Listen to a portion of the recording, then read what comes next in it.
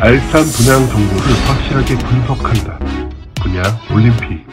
자, 분양 올림픽입니다. 대명의 분양 올림픽 2회. 아, 1회 이후 시청자들 반응이 뜨겁습니다. 그래서 어, 주소장님한테 그 소감 한번 들어보고 어, 이 이야기를 한번 나눠볼 건데요. 그 2회 소감은 어떠세요? 왜 진작 이런 네. 그 영상을 네. 예, 준비하지 않았느냐라는 이야기들을 많이 듣고 있습니다. 네. 예, 기다렸던 영상이라고. 역시나 우리 프로그램 제목이 분양 올림픽이니만큼 음, 네. 올해 도쿄 올림픽 하나요, 근데?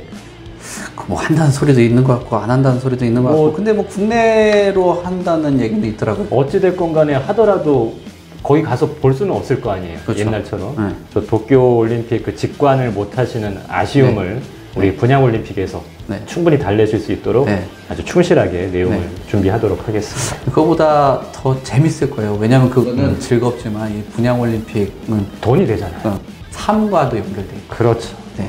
뭐 올림픽 뭐 난 그 선수들 금메달 따는 거 본다고 나한테 돈 되는 건 아니에요. 아, 또안 돼요, 그거. 네. 네. 그래서 분양 올림픽이 더 낫다. 네. 저도 뭐 그렇게 생각을 하고 있고. 근데 이게 지금 저는 그런 얘기를 많이 들었어요. 아까는 왜 이렇게 안 했냐라고 하는데 이거 아무나 못하죠. 이런 기획과 아이디어도 아, 그렇죠. 그 인력과 저희 같은 경우도 뭐 전문 PD하고 전문 작가하고 작가와. 뭐다 조명팀하고 다 있으니까 가능하지. 뭐 유튜브 하시는 분들은 이런 거 못해요. 일단은 인력이 많이 필요합니다. 이게 네. 한두 사람의 힘으로 되는 게 아니기 때문에. 네. 그리고 좀 논란이 있는 게 예. 도대체 이 판정 기준이 뭐냐 얘기들을 많이 하는데 어 도대체 이거 판정 기준이 이거 뭐예요 뭐 그래서 뭐 점수는 한 몇 점 정도 줄 수 있겠죠 점수는 5점 드리겠습니다. 5점. 포장지까지 이렇게 해놓고 일단은 올림픽이니만큼 그거를 좀 이해를 하셔야 될 것 같아요. 판정도 네. 경기의 일부다. 아, 그러니까 받아들이셔야 되고 네. 저희를 전적으로 믿어주셔야 합니다.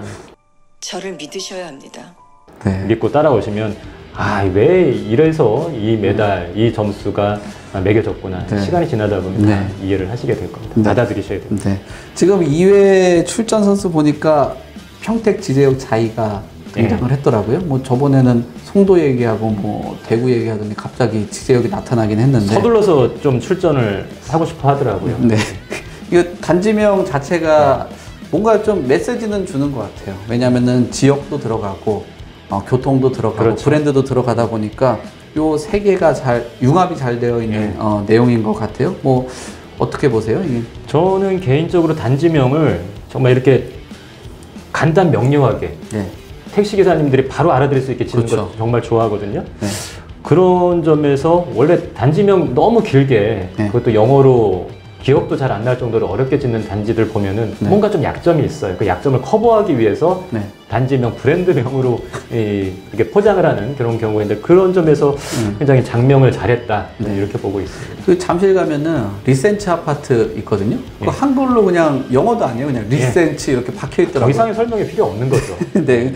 지금 그만큼 평택의 자이라는 그 브랜드 좋게 평가하시는 거죠? 근데 뭐 그건 또또또 다른 얘기고. 네, 뭐. 뭐 그냥 그렇다는 얘기고 평가는 또 냉정하게 네. 뭐 일반적으로는 그렇지만 이 단지 평택 평택 지제역자의 단지에 대한 평가는 또 냉정하게 따로 진행을 네. 해보겠습니다. 지금 우리 심판의 성향을 보니까 어, 단지 규모 이런 거 되게 중요시 생각하더라고요. 예, 지금 사이즈 중요하죠. 네, 그 중량급을 좋아하시는 것 같아요. 좋아합니다. 네, 헤비급이 그 뭐랄까 티켓 파워도 세잖아요. 아, 예, 그럼요. 기왕이면 또 규모의 경제를 실현할 수가 있기 때문에 네. 규모는 어쩔 수 없이 중요한 평가 요소입니다. 네, 평택 지제역 자이가 우선 세대 수 보니까 1052세대. 그러니까 보통 대단지라고 하면 1000세대를 기준으로들 이야기를 많이 하잖아요. 어, 분명히 또 색깔 같은 경우도 기준을 잘 잡았기 때문에 색깔이 궁금한데 어, 메달 색깔 전체적으로 분석해주고 메달 색깔도 한번 예. 얘기 좀 해주세요. 맞습니다. 이 천세대가 대단지냐 아니냐를 객관적으로 딱 나누는 일종의 뭐 커트라인 같은 성격이 되죠. 네. 커트라인을 넘기기는 했습니다. 네. 근데 문제는 상대적인 체급도 좀 봐야 된다는 거죠. 네. 헤비급이라고 생각하고 출전을 했는데 네. 주변에 슈퍼 헤비급들이 있어버려요. 그러면 어쩔 수 없이 감점을 좀 할 수밖에 네. 없습니다. 네.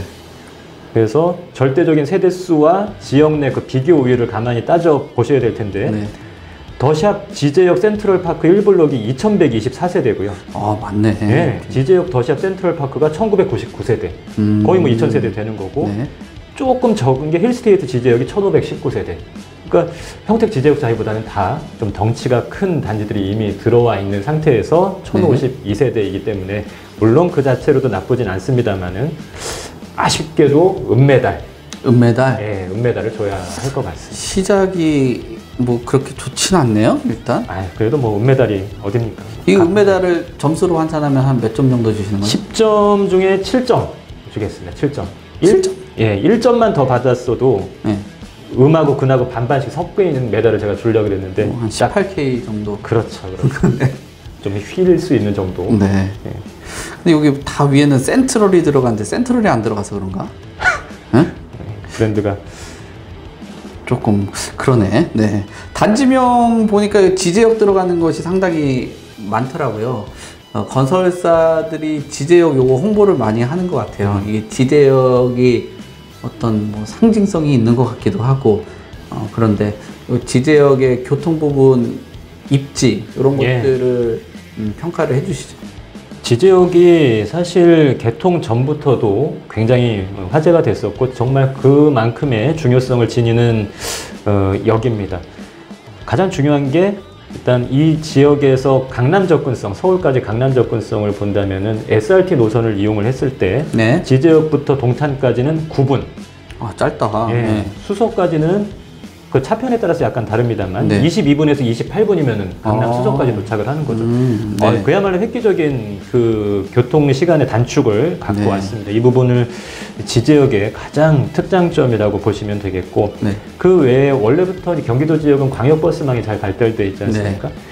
그이 지지역 버스 정류장에서 강남역 정류장까지는 1시간 30분 내외 뭐 이 정도도 준수합니다. 네. 어, 강남권 이동은 이렇게 생각을 하셔야 되겠고 그 다음에 서울 도심권까지 이동은 지제역에서 1호선을 타고 평택역으로 일단 이동을 하시고 네. 그 다음에 평택역에서 새마을이나 이제 무궁화로 또 서울역까지 55분 도합 전체 시간 합치면 은 1시간 15분 정도 소요됩니다. 네.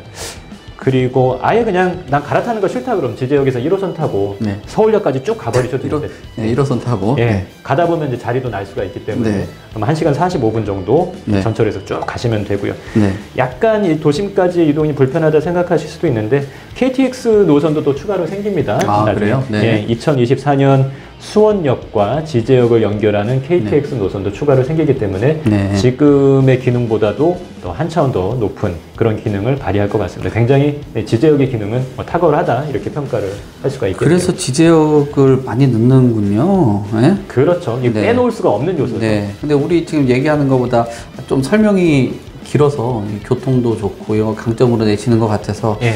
어, 메달이 어, 기대가 되는데 메달 색깔이 어떻게 되죠? 그래서 지제역이 그만큼 중요하기 때문에 예. 메달은 동메달을 주기로 결정을 했습니다. 동메달이요? 예. 그 왜 왜 동메달이죠? 뭐? 지제역은 중요하기도 하고 네. 예, 탁월한 기능을 갖고 있기도 한데 예. 지제역까지 걸어서 한 20분 걸린다면은 그건 또 이제 문제가 되는 거죠. 만약에 걸어서 어, 한 10분 이내로 들어온다면은 네. 제가 은메달 이상을 이제 부여할 네. 수가 있겠는데 네. 이건 아무리 봐도 1km가 넘어서 네. 좀 빨리 걸어도 15분, 그 다음에 천천히 걸으면 20분은 충분히 걸릴 만한 그 거리거든요. 그런 거 감안했을 때는 뭐 동메달 정도 어, 주면 될 것 같아요. 아니 아까 뭐 SRT 타면 9분이고 수서까지 22분이고 예. 1호선 타고도 간다고 실컷 얘기해놓고 지금 어? 동메달 준다고 그러고 뭐 20분 걸린다고 그러고 그 어? 이름 실컷 지제역 자이라고 줬는데 어? 실컷 지제역 자이라고 어 지제역이라고 썼는데 1km 걸렸다고 얘기하면 그거 어떻게 근데 이름 너무 문제가- 박한 거 아니에요 이거? 문제가 뭐냐면 아까도 제가 네. 먼저 다른 단지들 쭉 열거를 해드렸던 것처럼 다른 데 몇 킬로예요 여기는? 더샵 지제역 센트럴 파크, 지제역 더샵 센트럴 파크, 힐스테이트 지제역. 네. 그러니까 단지명에 지제역을 넣은 단지들이 너무 많아요. 그래서 다 똑같이 평가할 수는 없다는 거죠. 어, 더샵 지제역 센트럴 파크가 아니죠. 지제역 더샵 센트럴 파크가 가장 네. 가깝습니다. 현 상태에서는. 여기는 걸어서 10분 이내에 이제 충분히 들어오는 상태고요. 어, 은메달 줘요 그거는? 저희한테 신청을 안 했기 때문에 그냥 평가 외로 하겠습니다. 네네. 아유, 그래도 동메달을 줬지만 사실 올림픽에서 순위 결정전 이 3위 안에 들어왔다는 얘기잖아요. 네. 사실 동메달이라고 나쁜 건 아니고요. 우수하지만 그 안에서 이제 우열을 가렸을 때는 어, 동메달이다 이렇게 보시면 될 것 같습니다. 예측을 해보면 지금 이제 걸어가셔야 되는데 이 지제역자위가 들어서는 영신지구거든요. 영신지구, 영신지구, 네. 예, 영신지구 도시개발 사업이 이제 활발하게 진행이 되고 있는 상황입니다. 신축 아파트의 공급도 계속해서 진행이 음. 되고 있고 그러면 시간이 지나서 이제 단지 조성이 전체적으로 완료가 됐을 때 지지역까지 오고 가는 뭐 버스편이라든지 추가로 충분히 생기는 그런 어, 사례들을 많이 목격을 했거든요. 그런 거를 감안했을 때는 지금보다도 평점은 나중에 입주 이후에 더 올라갈 수 있을 것이다 보여집니다. 이 월드컵하고 올림픽이 4년에 한 번씩 열리잖아요. 그렇죠. 4년이 지나고 나면 메달 색깔이 좀 바뀔 수도 있겠네요. 그럼. 아 충분히 바뀔 수 있죠. 네. 다음 다음에 입주 이후에 다시 출전한다면은 그때는 또 이제 메달이 바뀔 수가 있는 거죠. 그러네요. 예. 어. 근데 이거 뭐 좀 냉정하게 평가, 아까도 은메달 주고 동메달 주고 이러는 거 보니까 저번에 힐스테이트하고는 좀 다르게 이거 GS 쪽에서 그 뭐 좀 제작 지원 같은 게 없는 거죠? 없어가지고 그런 거 아니에요? 뭐 아쉽게도 제작 지원이 없기도 한데요. 네. 근데 사실 뭐 제작 지원이 들어온다고 해서 네. 꼭 점수를 잘 준다 뭐 이런 보장도 없습니다. 그렇지만 네. 지원이 들어오는 건 언제든 환영이니까 네. 뭐 우리는 관대하지 않습니다. 네. 언제든 환영이니까 마- 이, 망설이지 마시고 네. 꼭 출전을 하셨으면 좋겠고 지원과 함께 출전을 하셨으면 좋겠고 일단 뭐 그 건설사들 지원이 별로 중요치 않은 게 우리는 항상 도시아경제 채널의 이 구독자분들 네. 좋아요와 이제 구독 이것이 또 우리의 네. 진정한 아. 힘이자 네. 또 진정한 스폰으로 네. 스폰으로 저는 생각을 하고 있습니다. 아, 훌륭하죠. 네. 우리 또 피디님께서 영상 편집하시다가 이쪽에는 구독을 네. 오른손엔 구독을 또 왼손에는 좋아요를 이렇게 올려주시지 않을까 생각이 듭니다. 올려주시고 계시, 계시겠죠 지금? 그 알림 설정까지 머리에 알림, 알림 설정 머리에 이렇게 돌아가는 알림 설정까지. 땡글땡글 돌아가고 있을 겁니다. 네, 지금 평택이 예. 이 서쪽에 좀 가깝다 보니까 예, 수도권 중에서도 뭐 수원도 있긴 하지만 그 대기업 들이 진출을 많이 하는 지역으로 정평이 좀 나 있어요. 뭐 예. 교통도 그렇고 아까 설명한 것처럼 그리고 뭐 황해, 무역도 그렇다 보니까 예, 이게 지금 지제역 자이 중심으로 어쨌든 주택이 들어온다면은 회사하고 가까운 우리 흔히 말하는 그 직주 근접이라고 네. 하잖아요. 이런 것들도 좀 짚어주시면 그렇죠. 어떨까요? 평택 특히 이제 지제역 인근을 제가 높게 평가하는 이유는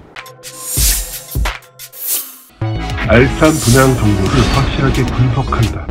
분야 올림픽. 한 발 앞서 이슈를 말한다.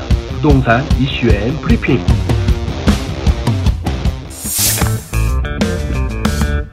머니S와 함께하는 부동산 정보. 머니앤더시티. 누구나가 될 수 있는 건축주만의 프로젝트. 건축주 프로젝트 세미나. 지금 지제역 자이 중심으로 어쨌든 주택이 들어온다면은 회사하고 가까운 우리 흔히 말하는 그 직주 근접이라고 네. 하잖아요. 이런 것들도 좀 짚어주시면 그렇죠. 어떨까요? 평택 특히 이제 지제역 인근을 제가 높게 평가하는 이유는 SRT를 이용한 서울 왕래도 쉽고 그러니까 네. 서울 출퇴근 수요도 흡수할 수 있는 지역이면서 평택 자체가 보유하고 있는 직장인 수요도 동시에 흡수할 수 있- 있는 양수 겸장을 할 수 있는 네. 그런 수요. 그래서 반경 2km 이내에 그 직원 수가 한 5만 5천 명에 달하는 고덕지구 삼성전자 평택 캠퍼스도 있고요. 또 비슷한 네. 거리에 쌍용 자동차 본사도 거의 한 4,870명 정도 음. 확보를 하고 있습니다. 그 외에도 진위 이 일반 산업단지랑 LG 디지털 파크도 있네요.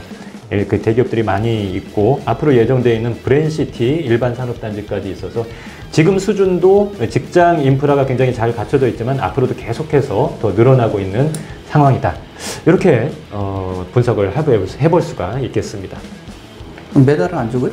메달은 이 직장이 잘 갖춰져 있다. 이것만 놓고 또 평가를 해서는 안 되고요. 네. 어, 현재의 그 인구 수의 변화, 동향, 요거를 좀 감안해서 다시 한번 2차 검증을 들어가야 될것 음, 같아요. 그 전입 인구 말씀하시는 거죠? 그렇죠. 예, 전입. 인구는 뭐 어떨 것 같아요? 그 기업들이 많으면은 아무래도 인구들 유입할 가능성이 굉장히 어, 높잖아요. 특히나 예. 도시 소멸할 때도 그 직장이 없어서 그 도시가 쇠퇴하고 맞습니다. 소멸하다 보니까 그런 것들이 있- 있는 것 같은데 평택 같은 거 인구 유입이 어떨까요? 전입 인구 수는 그러니까 일단 현재 직장이 잘 갖춰져 있는 거는 현 시점에서의 순위를 매길 수 있는 요소고 네. 앞으로의 그 인구 수의 변화 예측치는 또 추가적인 가점을 줄 수 있는 그렇죠. 그 미래 가치가 될 수가 네. 있으니까 이렇게 보시면 되는데 평택을 전체적으로 봤을 때 행정구역별로 가장 지난 10년간 인구 증가율이 가장 높았던 곳, 그러니까 가장 많은 인구의 증가 폭을 갖고 왔던 곳이 비전 1동이었습니다. 10년간 약 6만 9천 명이 증가를 한 것이죠. 6만 9천 명의 증가율은 396%에 달하고 있습니다. 아, 이거면 사실 서울의 인구가 줄고 경기도가 인구가 많이 늘었다고 하잖아요. 그렇죠. 큰 역할을 했네요. 309, 난 39.6%로 봤는데 396%인가요? 예, 어마어마하죠. 396% 거의 뭐 400%에 가까운 거죠. 와. 서울에서부터 뭐 들어온 전입 인구 중 상당수도 이런 이제 비전 일동으로 들어갔다라고 볼 수가 있는 거죠. 네. 어, 비전 일동은 이렇게 되고 이 평택 지지역 자위가 들어오는 영신지구의 세교동, 세교동은 지난 10년간 4,401명 증가, 그리고 증가율은 10년 전 대비 17.8% 증가를 한 수준입니다. 좀 차이가 많이 벌어지고 있죠. 아니, 그 이- 이렇게 인구가 들어오면은 원인 분석이 있어야 되는 거잖아요. 그렇죠, 그렇죠. 원인은 뭔 것 같아요, 이게? 사실 두 지역의 격차가 많이 인구 증가 폭 면에서 격차가 많이 벌어지는 것처럼 이제 보일 수가 있기 때문에 그 원인을 한번 따져봐야 될 텐데 네. 이거는 평택뿐만 아니라 여러분들이 수도권 특히 이제 경기도 지역을 분석하실 때 거의 비슷한 현상이 많이 일어나게 된다라는 거. 어, 좀 유심히 지켜보신 분들은 확인을 하셨을 겁니다. 경기도는 특징이 이제 잠재되어 있는 수요가 이제 구축 아파트 밀집지에 어, 몰려 있다가 뭐 어떻게 할 도리가 없으니까요. 전세를 네. 살고 있던가 옮기고 싶어도 마땅한 새 집이 없어서 그냥 머물러 있다가 좋은 지역에 대규모의 새 아파트 공급이 이루어지면은 수요가 갑자기 그 새 아파트를 따라서 공급이 이루어지는 곳을 따라서 이동해 버리는 네. 그런 현상이 나타나게 되는 것이죠. 대표적인 지역이 이 비전 1동을 중심으로 한 평택 소사벌지구 택지개발 사업을 통해서 만들어진 그런 아파트 단지들이었습니다. 네. 그래서 그만큼 인구의 집중화가 많이 일어났던 것이고 그러면 이러한 사례를 놓고 이 지제역자위가 들어오게 되는 영신지구, 이 세교동을 중심으로 한 영신지구에도 이제 막 택지 개발 사업 그 초기 단계에서 새 아파트가 늘어나고 있는 상황이기 때문에 똑같은 상황이 일어날 수밖에 없다라는 것을 유추해 볼 수가 있는 것이죠. 네. 그래서 지금 현재 세교동의 인구 증가율은 비전동 대비 조금 덜 한 것처럼 보이더라도 뭐 택지 개발 사업에서 뭐 선행해서 나갔던 곳과 후발주자로 지금 시작하는 곳은 당연히 차이가 있을 수밖에 없잖아요. 근데 앞으로 뭐 2년 후, 4년 후에 인구 증가 폭은 세교동 쪽에 확실히 더 늘어날 것으로 특히나 지지역에 가깝게 있기 때문에 제가 물론 동메달을 주긴 했지만 그래도 그래도 멀다고는 할 수가 없기 때문에 네. 예. 어, 그런 점을 감안했을 때는 네. 금메달 아, 주- 금메달, 금메달, 금메달, 금메달! 주도록 하겠습니다. 웬일로. 이, 이쯤에서 금메달 한번 줘야 될 것 같더라고요. 아니, 아니 그게 삐져. 삐져, 여기. 냉정한 냉정한 평가 기준에 의해서 금메달을 네? GS 건설 뭐 볼지 안 볼지 모르겠는데 예. 삐질 수 있어, 이거. 응? 금메달 한번 줘야죠. 네, 한번 주는. 예. 이게 역시나 평택에도 한동안 유행했던 그 새 아파트라는 키워드가 여기도 그렇죠. 예, 예. 먹혔네요. 그 수요의 이동 재미있는 현상이죠. 공급이 먼저 이루어지고 그 공급을 쫓아서 수요가 옮겨가는 현상. 앞으로도 경기도를 분석하실 때 다른 분들도 많이 그 현상을 관찰을 해보시면 느끼, 느끼시게 될 겁니다. 예전에 그냥 무작정 공급량 공급량이 들어오면 공급 폭탄이다 그러면 집값 떨어지는 것처럼 그거는 굉장히 일차원적인 생각이죠. 그런 것 같아요. 예, 현실이나 그 시장이 실제 실무적으로 돌아가는 그 루틴을 모르는 사람들의 얘기죠. 공급도 그 똑같은 공급이라도 어떤 질의 공급이 들어가느냐에 그렇죠. 따라서 예. 뭐 소득 계층도 다르고 예. 주변의 환경도 바뀌는 건데 그냥 공급 폭탄이라고 그러면 그냥 막연하게 예? 뭐 지역에 되게 안 좋은 것처럼 평가를 하는데 그렇진 않네요. 사실 이 지역은 지지역을 중심으로 해서 벌써 더샵, 힐스테이트, 일본의 평택 지제역, 자이, 자이까지 네. 고급 브랜드들만 주변에 완전히 둘러싸게 아하, 되는 거거든요. 네, 근데 원인이 고급 있네. 음. 아파트 단지를 형성할 수밖에 없을 것 같습니다. 네. 그래도 이게 점수가 앞에 은메달, 동메달 나와서 그런지 꽤 후한 것 같은데 예. 어, 기준은 뭐예요, 도대체? 아 정확한 기준이 있습니다. AI보다 더 정확한 네. 기준을 말씀을 드리면 단적으로 분석을 할 수가 있는 것이 세교동 전체 인구가 지금 2만 9천여 명 정도 됩니다. 네. 근데 반경 2km 이내에 고덕지구의 그 삼성 그리고 비슷한 거리에 쌍용 두 대기업의 일자리 수만 합쳐보더라도 6만이 되는 것이죠.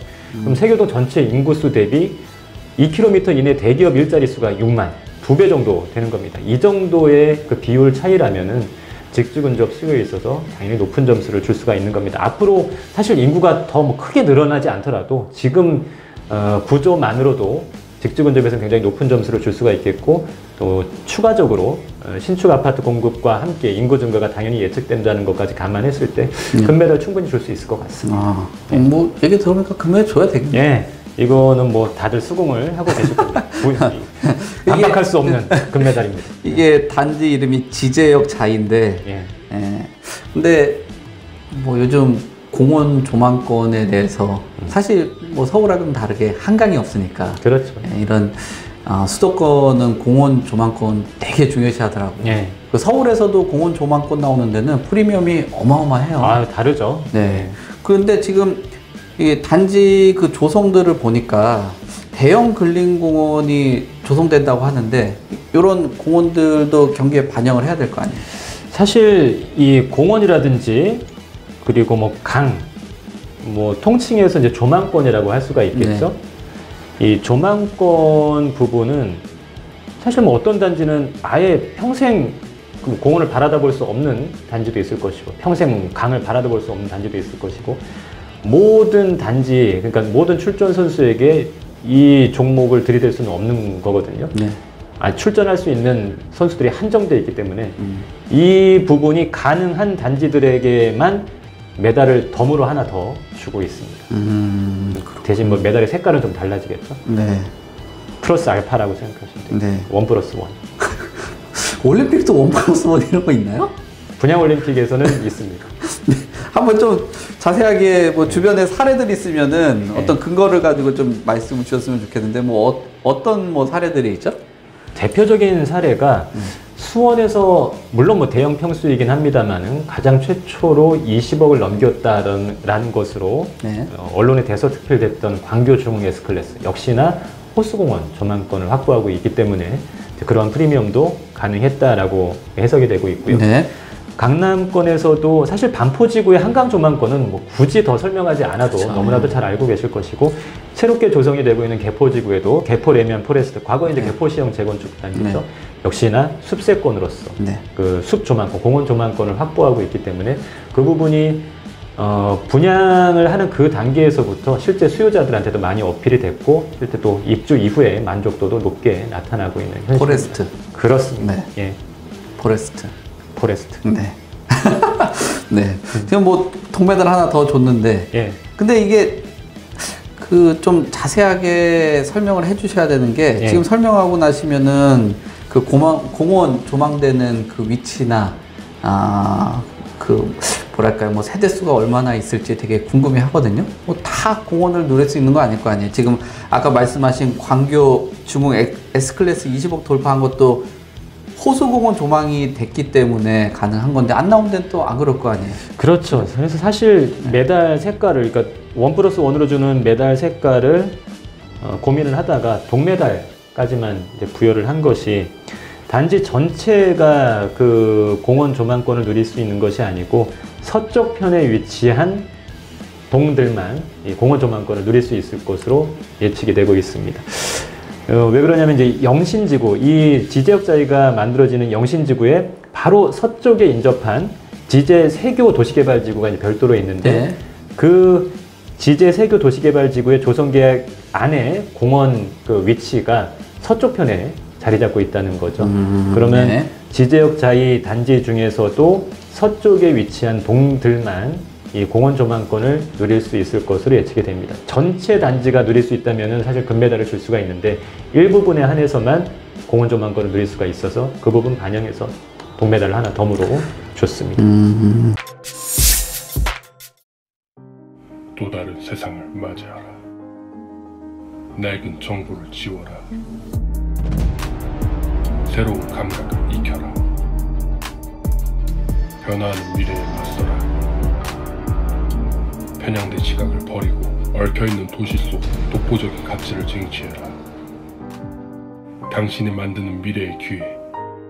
도시화 경제. 이게 조금 가격이 있더라도 이게 사는 게 추가적인 상승 동력으로 작용을 할수 있겠네요. 아, 그렇죠. 네. 플러스 알파 요인이 될 것으로 보이고 네. 있습니다. 예. 자, 보면은 전용 59제곱미터부터 전용 113제곱까지 예, 평형 구성이 되게 다양하게 되어 네. 있더라고요. 그러면은 그 다양한 구성 안에서 어, 분양가 평가도 가능하시겠죠? 사실 가장 이제 중요한 부분이죠. 결국은 마지막은 이제 가격으로 얘기를 하는 거기 때문에 가장 어, 중요한 손가락이 네. 이 가격으로 얘기를 하는 거기 때문에 Show me the 고민! 근데 아쉽게도 뭐 분양가가 사실 입주자 모집 공고 발표 시점까지는 확정된 분양가 정보를 얻기는 어렵습니다. 뭐 내부적으로 저희한테 전달되는 내용은 있습니다만 네. 있어요? 그거를 뭐 스포일러처럼 이렇게 얘기를 할 수는 아, 없는 네. 거고요. 근데 그거를 떠나서 일반적인 관점에서 한번 분석을 해 드릴게요. 네. 그러니까 예측의 차원에서 들어보시면 될 것 같고요. 네. 근데 제가 이렇게- 예측한 거 거의 막 이렇게 여의 여의주를 막 들고 있어요. 그렇죠. 예측한 거 뭐 거의 뭐 많이 맞았기 때문에 네. 심심하니까 여기 이쯤에서 구독과 좋아요 우리 다시 한번 올려주실 것 같고 알림 알림 설정. 네. 예측을 해드리자면은 일단 현재 만들어지고 있는 이 지역의 시세를 파악을 하셔야 되겠죠. 네. 가장 기준이 되는 전용 84제곱미터의 시세를 봤을 때 2020년 12월 입주를 한 이제 입주한 지 얼마 안 됐습니다. 전용 84제곱미터 힐스테이트 지제역의 가격이 7억 원. 그리고 2022년 5월 입주를 앞두고 있는 지제역 더샵 센트럴시티 전용 84제곱미터 분양권이 네. 어, 4월 평균 6억 7천에 거래가 되고 있습니다. 그럼 이 시세를 감안했을 때 어, 지제역 자유도 입주 이후에 34평형 7억 내외는 충분히 만들어질 수 있을 것이다.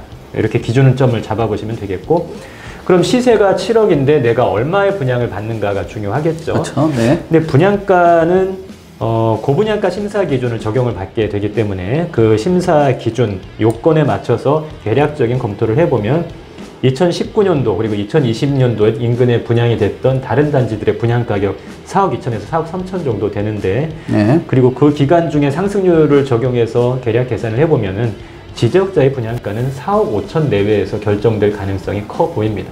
아. 4억 5천. 그럼 뭐 4억 5천에 분양 가격이 책정된다 하더라도 입주 이후 시세 7억, 내 분양가는 4억 5천. 아, 이 정도면 훌륭하죠. 7억 빼기 4억 5천이요? 그렇죠. 7억 빼기 4억 5천. 그렇죠. 네. 만약에 제가 예측해드린 대로 분양 가격이 진행이 된다면 뭐 이 자산 가치 측면에서도 네. 당연히 금메달이죠. 금메달 하나에다가 네. 뭐 하나 반 정도 줄 수 있을 것 같아요. 대표적인 안전자산인 금 가격이 계속 떨어지고 있습니다. 아니 아까서도 그냥 막 주네 메달을. 아, 저는 냉정합니다.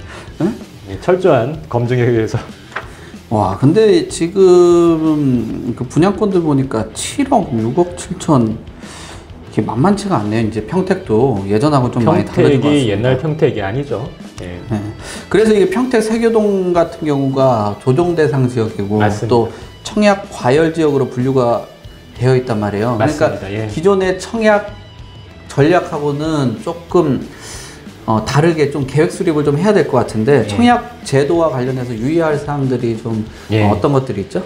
규제를 받고 있으니만큼 가장 대표적인 규제 사항, 그 제도에 의한 규제 사항이 당첨일로부터 7년간 네.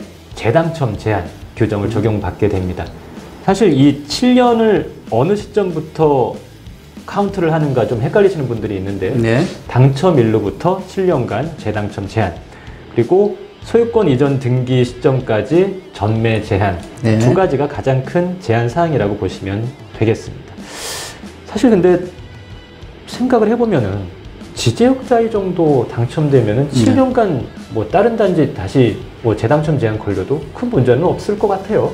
그럼요. 예, 네, 지금 보니까 실거주 수요자들이었다면 네, 충분히 그럴 것 같은데요. 예, 너무 뭐 다른 욕심 부릴 필요는 없다 네. 이렇게 보여지고요. 네.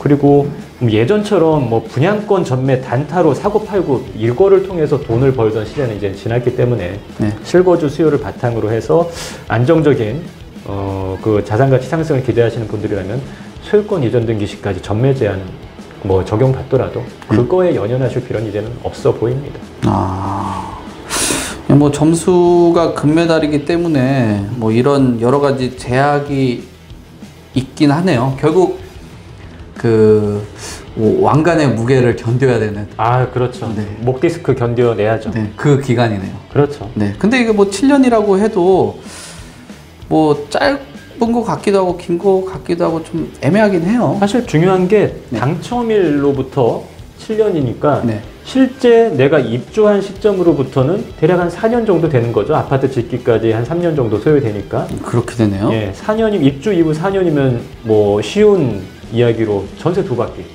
예, 전세 2년짜리 두 바퀴 정도니까 뭐 아주 오랜 시간은 아닐 겁니다. 사실 살다 보면 그 시간 금방 가지 않습니까? 네. 언제 시간이 지나가는지 모를 정도로 어, 크게 뭐 연연하실 부분은 전혀 아니다 이렇게 네. 보여집니다. 말씀하신 거딱 포인트를 정확히 짚으셨네요. 그 입주하고 나서의 그 시간으로 생각을 해본다. 그렇죠. 네.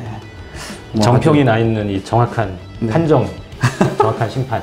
이거 수요 수요자들이 고민을 7년이라는 그 숫자에 대해 고민을 해보다가 아무 의미 없는 고민이죠 네. 사실. 주영남 소장님 말씀해주시는 그 명쾌한 해답이 네. 조금 더 청약에 도전을 해볼 수 있는 좋은 길을 열어주신 것 같아요. 사실 청약을 아직까지 이제 그러니까 바라만 보고 계신 분들이 저지르시는 실수가 되지도 않은, 않은 상태에서 행복한 고민만 하시는 경우가 네. 많은 거죠. 아, 이거 7년을 기다려야 되나? 이 단지가 더 낫지 않을까? 그, 저- 그 단지는 정작 나를 당첨시켜줄 생각도 안 하고 있는 네. 떡줄 사람 생각도 안 하고 네. 있는 거죠.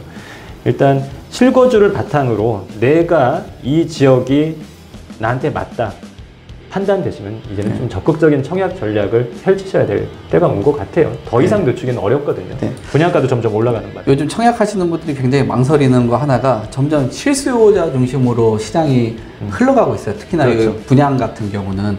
그래서 가장 청약할 때 고민을 하는 게 단순히 오르고 내리고가 아니라 아까 7년 거주를 해야 되는 뭐 이런 기간들이 있잖아요. 아, 재당첨 제한이 예, 예. 있는 그 기간이 있기 때문에 이 기간 동안 본인이 거주를 할 수 있는 확률이 굉장히 높아졌단 말이에요. 그렇죠. 그러면은 그 안에서 뭐 커뮤니티나 음. 또 저희가 요즘 항상 강조를 하는 조경 아 맞습니다. 또 평명 구성 이런 요소들에 대한 요구도 많고 궁금증도 계속적으로 이뤄지고 있는 상황이거든요. 어떻게 뭐 이런 정보는 좀 주실 수 있나요? 정말 아, 그 정확한 해석을 내려주셨네요. 그 제도에 의한 규제. 그래서 내가 원하든 원하지 않던 더 오랜 기간 거기에 이제 머물러야 하기 때문에 그렇죠. 단지 내 커뮤니티나 뭐 조경 평면 구성 뭐 굉장히 이제 중요한 요소죠. 그렇죠. 아쉽게도 네. 정보가 없어서 평가를 못했어요. 말도 안 되는 이야기입니다. 폐하의 귀가 더럽혀질까봐 두렵습니다. 이대로 불태워버려도 상관없는 정갈이 옳습니다. 좀 아니, 중요, 정보를 중요하다고 내가 실컷 그 열을 올리면서 이야기를 했는데 어? 어쩔 뭐 수가 아무, 없는 게- 아무것도 안 가져왔어요? 분양 그 개시하기 전에는 뭐 좀 임박해서 정확, 더 정확한 정보들이 공개될 것 같은데 네. 아직까지는 공개가 안 되어 있고 또 저희한테도 따로 어, 음. 개별적으로 이 부분에 대해서 좀 평가를 받고 싶다 이렇게 요청을 하신 적도 요청을 해야지. 이게 지금 그래서 이거 너무 늦게 요청하면 이- 제가 아무래도 이게 객관적인 평가 기준이 네. 제 개- 굉장히 냉철한 평가 기준이 예. 좀 감정이 들어가지 않을까. 그러니까 이게 예. 제작 지원은 안 하더라도 이런 정보 그러니까 자료만 줘도 되는데. 네. 아니 뭐 자동차들 보면은 예. 스파이샷 같은 거 있잖아요. 그러니까. 예, 그런 것도 할 수가 없게 이렇게 해놓으면 평가를 못 하겠네. 굉장히 기대되는 측면들인데 예, 그러니까 제가 저번에 지난번에도 그 말씀하신 송도 있잖아요. 송도도 예. 있고 뭐 대구도 있다고 했는데 이 선수들 먼저 출전을 시켰어야 되는데 출전을 안 시키니까 지금 이렇게 되는 거 아? 예, 그러네요. 왜 출전 안 한 거예요? 왜? 송도가 이 체급을 좀 맞춰야 되는데 네. 체중 감량이 좀 시간이 걸려가지고 개체량 통과를 아직 못했어요. 뭔 개소리야! 다음 주에는 땀복을 입고 좀. 그렇죠. 다음 주에는 개차량 통과할 수 있을 것 같거든요. 네. 0.5km 정도만 네. 좀 빼면 될 것 같으니까. 뭐, 뭐 머리도 밀고 하더라고요. 그렇죠. 네. 그래서 개차량 통과되는 즉시 네. 출전을 시켜서 신랄하게 또 평가를 하도록 금운동 수요를 어떻게 할지 아예 메달을 주지 말아 버릴지 좀 신랄하게 평가를 해보도록 하겠습니다. 성실해야 되겠네요. 자료가 그렇죠. 좀, 아. 아, 지원 필요 없다니까요. 자료만, 자료만. 네. 이 출전 선수들의 그 프로필과 역량을 네. 저희한테 충분히 제공을 해주시면 언제든지 네. 다각적으로, 입체적으로 평가를 해드리겠습니다. 그리고, 어, 아파트뿐만 아니라 굉장히 다양한 종목의 선수들이 출전을 할 예정입니다. 네. 대규모 이제 고급 단독주택 단지라든지, 아 재밌다. 예, 네. 오피스텔. 아, 뭐 아파트만 우리가 뭐 평가를 할 필요는 뭐 없습니다. 아파트 요즘에 홍보를 안 해도 잘 된다고 해가지고 뭐 하지도 않는데요. 뭐 홍보도. 아 그래도 그러면 또 더더욱 또 저희가. 출전 선수를 출전 선수를 바꿔버려야죠. 무대는 저희 거니까 경기장은 네, 저희가 갖고 그렇죠. 있으니까 네. 어, 그렇게 해보도록 하겠습니다. 네. 근데 저는 사실 뭐 아파트 정보는 워낙 뭐 공개가 잘 되어 있고 저희가 뭐 농담하면서 이야기도 네. 하긴 하지만 저는 중견 건설사, 소규모 음. 건설사들도 뭐 많이 홍보를 해서 인지도를 올렸으면 좋겠거든요. 뭐 보면은 저희는 좀 알잖아요. 그렇죠. 런그 건설사들에서 뭐 오피스텔은 사면은 뭐 떨어진다, 빌라는 사면 떨어진다 이런 거 하면 안 된다. 하나의 그 리서치를 만들어서 뭐 보도 자료를 뭐 그렇죠. 배포를 해가지고 프레임 같은 거 하는 건 저희는 알아요. 음. 근데 그 중견 건설사들도 좀 힘을 내서 음. 할수 있는 그런 기회의 장 아니 가끔 이변도 있지 않아요? 막 아, 그럼요. 뭐 예상치도 못했던 그런 예. 결과들이 일어나는 그런 이변의 기회는 줘야 되는 거 아닌가요? 대표적인 선수가 제가 제 기억엔 임춘혜 선수 어. 라면만 먹고 뛰었던 네. 현정화 선수 아니죠 임춘애 선수가 맞습니다. 음. 라면만 먹고 뛰었던 네. 어느 누구도 예상하지 못했지만 라면만 먹고 뛰어서 또 이렇게 메달을 땄던 쿨러닝, 쿨러닝. 예? 가끔 보면 쿨러닝들 보면은 어? 아프리카. 기, 예, 기대도 안 했던 그런 선수들 주면 또 이목을 집중을 아, 해서 그럼요. 그곳에 또 새로운 그 종목의 기대감들이 있지 않을까? 우리 같은 경우도 뭐 동계올림픽을 예를 들면은 그 뭐, 뭐랄까요 뭐 스키 점프 말고 그 뭐, 뭐였죠? 그 보- 아이언맨 봅슬레이였나요? 루, 루지였나? 뭐 아무튼 예, 예. 그것도 점점 확대해서 메달까지도 받았잖아요. 아 그러니까 예상도 못했어요 저희. 예. 네.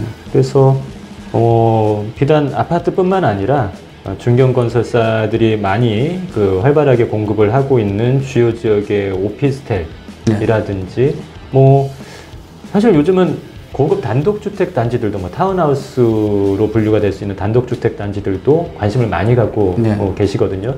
근데 문제는 아파트와 비교했을 때 이러한 부동산 상품들은 개별성이 너무 강해서 네. 정확한 가치 평가가 어렵다는 것이 그렇죠. 가장 그게 제일 크죠. 같습니다. 예. 네. 근데 저희 도시락 경제는 직접 개발 파트라든지 아니면 뭐 PM 파트에서 모든 실무적인 어, 부분을 다 경험을 해봤기 때문에 네. 공급자의 시각에서 또이 투자를 생각하시는 수요자의 시각에서 양쪽에서 다 바라보면서 이것이 합리적인 가격인지 합리적인 시설인지 네. 이런 부분들을 다 평가를 해드릴 수가 있으니까 네. 사실 저는 너무 쉽게 평가할 수 있는 아파트보다도 네. 진짜 전문가만이 평가를 할 수 있는 그런 유형의 부동산 그 선수들이 출전을 하기를 더 바라고는 있습니다. 네. 저도 그렇게 봐요. 그렇죠. 그러니까 예. 그 디딤돌 우리가 뭐 경제학 그 책에 보면은 디딤돌을 해서 애들 눈높이에 맞춰놓는 그런 예. 것들이니까 저희가 그런 그 디딤돌이 될 수 그렇죠. 있으면은 예. 어, 좋을 것 같아요. 그러니까 뭐 다양한 지역에 뭐 제주도도 좋아요. 그렇죠. 네, 해외도 괜찮습니다. 아, 해외 부동산 좋죠. 네, 그런 분들이 뭐 대기도 하고 있고 뭐 출전하기를 개인적으로 희망을 하고 있으니까 이런 분들이 적극적으로 좀 참여를 했으면 좋겠습니다. 진정한 올림픽이 되려면 당연히 해외 선수들도 출전을 해야죠. 네. 우리는 지금 지금 국내 선발전만 하고 있는 상황이니까. 네, 가끔 그 국적을 변경해서 용병처럼. 아유, 그렇죠. 네. 충분히 예, 가능할 것으로. 왜냐하면 우리는 도쿄 올림픽 올림픽보다도 더 재밌게 이 분양 올림픽을 구성을 해야 되니까. 네, 알겠습니다. 분양 올림픽이었습니다. 감사합니다.